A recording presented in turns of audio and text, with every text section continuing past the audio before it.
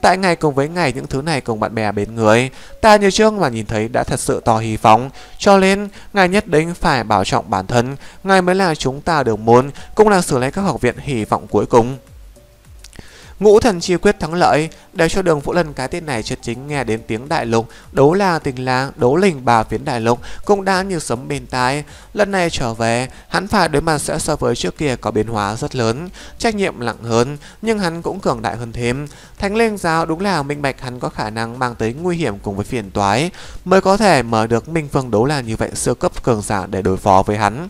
Tưởng muốn đem hắn bóp chết từ trong trứng nước, Có thể nghĩ bọn họ là cỡ nào lo lắng cho đường Vũ Lân lớn lên. Ở trong mắt của Hồ Kiệt, Vị môn chủ này là tương lai tất thành cực hạn đấu la đấy. Hơn nữa cũng không phải thông thường cực hạn đấu la đơn giản như vậy bay vào trong tàu ngầm, hướng bên bờ tiếu diện đấu la lần nữa, phất phất tay thăm hỏi về sau. Đường phụ Lân cùng với bạn bè nhào nhào tiến vào trong tàu ngầm bên trong. Cửa khoang khép kín, tàu ngầm chậm rãi chìm xuống, giống như cự thú một dạng chìm vào trong biển khơi. Trải qua thời gian dài như vậy, trước sau tại đấu linh tinh la hai nước đi xứ, nhiệm vụ của đường phụ Lân cũng cuối cùng là hoàn thành viên mãn, thậm chí có thể nói là vượt mức hoàn thành. Hắn lúc này mới cũng còn như là chính thức bị cả đường môn công nhận đường môn môn chủ. Vũ Lân, Hồ Trình người muốn dành thời gian tu luyện, thừa dịp trên đường đi không có người quấy rầy, vững chắc tốt cảnh giới, chuẩn bị xương hầm thứ 9 hồn hoàn, cùng sau khi trở về, ngươi liền là chân chính phong hào đấu la rồi, Nhã Lị nói với Đường Vũ Lân. Đường Vũ Lân nhẹ nhàng gật đầu, hôm nay tớ đấy hai nước, hắn từ trong một tiên hồn thánh, tại ngắn ngủi ở trong vòng nửa năm, giống như nhảy ba bước bình thường tăng lên trên tới phong hào đấu la cấp độ, đồng thời dung hợp tam tự đấu khải, biến hóa thật sự là quá lớn. Tuy rằng hắn một mực đang cố gắng tu luyện, nhưng cảnh giới nhất định không có khả năng đặc biệt vững chắc. Hồi trình chừng hơn 2 tháng thời gian, đúng là bế quan thời cờ tốt nhất. Sau khi trở về, dùng hắn bây giờ thành danh, hơn nữa xử lý các học viện cùng với đường môn có nhiều chuyện như vậy phải xử lý. Tưởng muốn bế quan thời gian dài như vậy cũng khó. Thánh linh đấu la công đồng dạng cần bế quan, tranh thủ sớm một ngày từ trong chuẩn bán thần tiến vào trong bán thần cấp độ. Khi đó mới chính thức tính là chân chính cực hạn đấu la. Từ khi đã có đường Vũ Lân đứa con trai này về sau, tấn trưng cực hạn, nàng cũng có một loại thoát thải hoán cốt cảm giác. Đến với tinh la đế quốc ở tinh la thánh đứng ở hoàng cùng tòa kiến trúc cao nhất quảng tinh thái đỉnh đế phân nhi nhìn về phương xa ở trong mắt sáng lên trên hơi nước là nhộn nhào cuối cùng hay vẫn là hữu duyên vô phấn vũ lần ca ca chúc người một chuyện rất tốt. Tàu ngầm ở bên trong biển rộng rất nhanh đi tới. Tuy rằng tàu ngầm bản thân thẻ tinh rất lớn, nhưng ở rộng lớn vô biên ở trong biển rộng, như cũ là muối bỏ biển. Vô lần đường Phụ Lân hay vẫn là những người khác, đều tại riêng của chính mình khoảng khắc bộ tù liên. Nguyên đơn xã huy cùng với Diệp Tinh Lan đang cố gắng vì mọi người hoàn thành, còn lại tầm tự đấu khái. Dựa theo tính cách của các nàng, đợi trở lại đấu la đại lục thời điểm, cơ bản bọn hắn thất quá toàn bộ đàm tự đấu khải là có thể hoàn thành. Đến lúc đó, toàn bộ đoàn đội này lại đem thoát thể hoàn cốt. Bọn hắn hiện tại tổ luyện đến so với trước kia càng thêm cố gắng. Ngũ thần chiêu quyết của đường Vũ Lân không chỉ là đã kích thích ngoại nhân, đối với người của chính mình kịch tinh cũng là tương đối không nhỏ.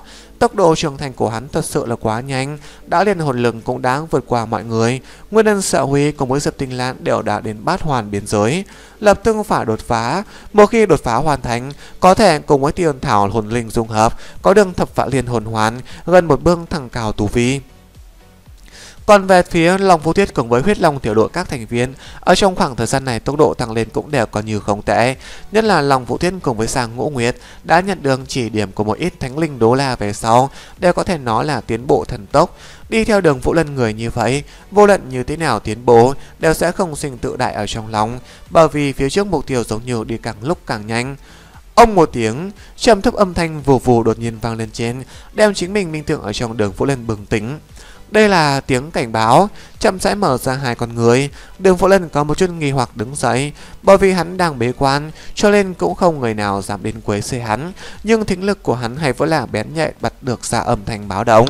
Không chỉ là hắn, khoang thuyền ở trong phòng xử lánh căng thất quái mấy người cũng tất cả đều từ trong tụ luyện của chính mình tỉnh táo trở lại.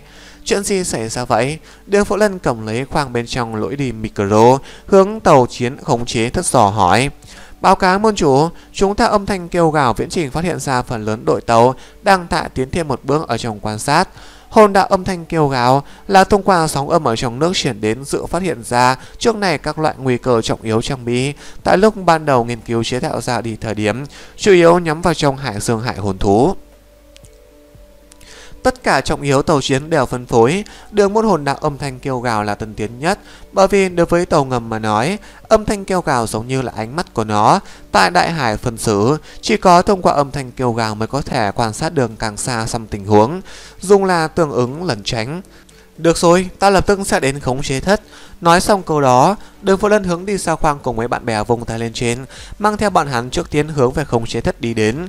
Ta giải đi theo đường phụ lân bên người, thấp giọng nói, không thể nào. Đường phụ lân lông mày nhíu chặt, rất khó nói, nếu như là rất nhiều đội tàu mà nói, chỉ sợ cũng không có cái gì những khả năng khác rồi, không nghĩ tới vậy mà tới nhanh như vậy. Nhà chính vũ tại một bên khác, nếu thật sự như vậy, vậy phiền toái lớn rồi, chúng ta mới vừa rồi giờ đi tinh la đại lục không bao lâu, bọn hắn hàng đầu mục tiêu công kích không thể nghi ngờ, nhất định chính là tinh la. Tinh la chuẩn bị, chỉ sợ vẫn chưa hoàn thành, mấu chốt là căn bản không biết liên bang hạm đội đến. Đường Phượng Lân nhẹ nhàng gật đầu, căn cứ bây giờ thủ đoạn điều tra, chỉ có liên bang có thể căn cứ từ chính mình đưa đến Thái không vệ tinh tiến hành nhất định được viễn trình chính xác. Tinh la đấu linh hà lực tất cả đều không chuẩn bị năng lực như vậy, chỉ có thể là bằng vào gia đa, nhưng gia đa của bọn hắn phạm vi bao trùm có hạn. Hơn nữa, liên bang hạm đội lần này nhất định là dẫn theo phản gia đa trang bị, lúc này mới có thể thần không biết quỷ không hay sờ đến gần như vậy địa phương. Vậy thì chúng ta nên làm cái gì bây giờ? Tạ giải thấp giọng hỏi. Nếu như liên bang hạm đội tập kích thành công, chiến tranh toàn diện triển khai, như vậy bọn hắn nguyên bản thuận lợi hoàn thành nhiệm vụ vẫn không có bất kỳ ý nghĩa gì rồi. Một khi tinh la bị phá, chỉ bằng và một đấu linh đế quốc, coi như là có bọn hắn cùng cầm vũ khí đắt tiền, cũng ngăn cản không nổi liên bang hạm đội thế công. Đường Phụ Lân lại nói, tới trước phòng điều khiển giải thích tình huống rồi nói sau, thời điểm này chúng ta không có khả năng sợ, có thể cơ duyên sở hợp phát hiện ra trước hạm đối, đã làm may mắn trong bất hạnh rồi. Rất nhanh, một nhóm người tới phòng điều khiển chính phóng, Hạm tăng thể diện ra sắc trầm trọng, chứng kiến đường Phụ Lân vội vàng nghênh đón. Môn chủ, đường Phụ Lân lúc này lại nói, có thể xác định hạm đội lai lịch sao, còn có mấy lượng. Hạm trưởng trầm giọng nói, trước mặt còn không có thể, bởi vì khoảng cách rất xa, nhưng thông qua âm thanh kêu gào có thể đoán được, có thể tích vô cùng khổng lồ vật thể ở bên trên mặt biển đi về phía trước. Hơn nữa, không chỉ là một cái, nay chỉ là có thể là hạm đội, căn cứ kinh nghiệm phán đoán, loại này kích thước hạm đội cũng chính là có liên bang mới có thể có được. Cho nên, Đường Phụ Lân khẽ vuốt cằm, ta hiểu rồi, chúng ta bây giờ có biện pháp nào không liên hệ với tinh la của đấu linh hai nước không? Hạm trưởng lắc đầu rồi nói, không được ở trong biển sóng tín hiệu của chúng ta căn bản không truyền ra ngoài. Tuy rằng khoảng cách tình là đế quân không tính quá xa, nhưng chúng ta chỉ có lội lên trên mặt nước mới có thể liên hệ được với bọn hắn. Vốn lấy liên bang tiến vào xa đà tôn ổn ra kêu gào hệ thống.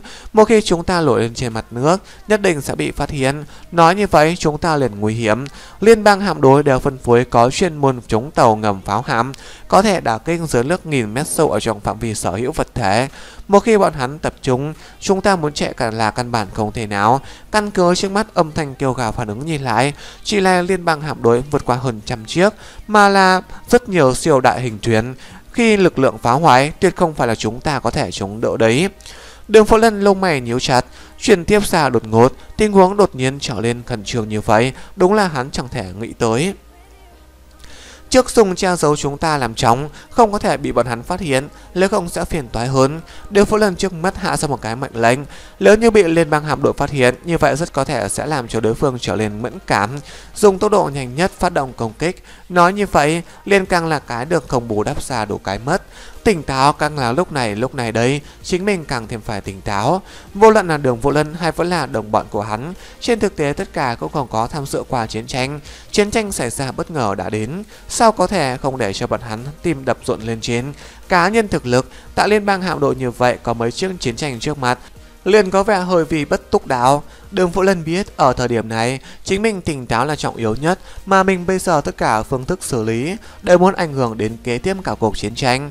Thở sâu hết khả năng đều tĩnh tâm lại, Đường Vũ Lân chậm giọng nói, chúng ta bây giờ muốn làm mấy chuyện. Thứ nhất, xác nhận người tới là hay không là liên bang hạm đối, điều này rất trọng yếu. Và một cá là một nhóm lớn hải hồn thú tới lui tuần tra, Kia quạ đen liền lớn Tiếp theo chúng ta muốn dùng tốc độ nhanh nhất thông trì thình là đế quốc để cho bọn hắn dùng tốc độ nhanh nhất chuẩn bị sẵn sàng Điểm thứ ba, cũng là điểm trọng yếu nhất, chúng ta phải nghĩ biện pháp cho đế quốc tranh thủ thời gian. Hạm trưởng suy nghĩ một chút, trong mắt lộ ra vẻ khâm phục.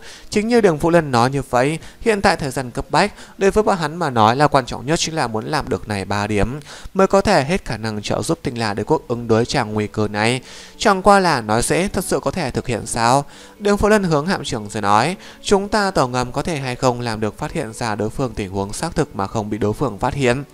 Hàm trưởng không chút lựa chọn lắc đầu rồi nói, Không có khả năng, Chúng ta âm thanh kêu gào tuy rằng tiến vào, Nhưng liên bang âm thanh kêu gào cũng không kém. Chúng ta chỉ có thể làm được Tại so sánh cự ly xa phát hiện ra trước bọn hắn. Nhưng nếu quả như vậy là liên bang hạm đội mà nói, Khi mà chúng ta có thể phát hiện ra bọn hắn tình huống cụ thể thời điểm đó, Bọn hắn cũng nhất định có thể đủ phát hiện ra sự hiện hữu của chúng ta. Do đó phái ra chống tàu ngầm hạm đội Để đối phó với chúng ta. Một khi bị cuốn lấy, Chúng ta sẽ rất khó bị thoát thân Loại này kích thước của liên bang hạm đối nhất định có năng lực tiến hành phạm vi lớn biển sâu đả kích, khi đó chúng ta liền sẽ trở nên vô cùng nguy hiểm. Đường Phụ Lân ở trong mắt quang mang chớp nhấp nháy thở sâu, vậy không có biện pháp khác, chỉ có thể dùng người của bản thân mình. Nhìn lại nghĩ tới đây, hắn lập tức quay người, nhìn về phía đã theo tới Thánh Linh Đấu La. Mẫu thân sợ rằng phải vất vả ngày đi một chuyến tinh la rồi. Ngày tốc độ phi hành là nhanh nhất, chúng ta thông đạo thông qua cận trình hồn đạo thông tấn liên hệ. Một khi ta xác thực phát hiện ra liên bang đội tàu, lập tức thông trì cho ngày, ngày hãy dùng tốc độ nhanh nhất, thông trì đế quốc để cho bọn hắn chuẩn bị sớm. Người muốn đích thân đi chính xác, không được, liên bang xa đá tân tiến bực nào, loại này kích thước đội tàu nhất định có cực hạn đấu là tọa chấn.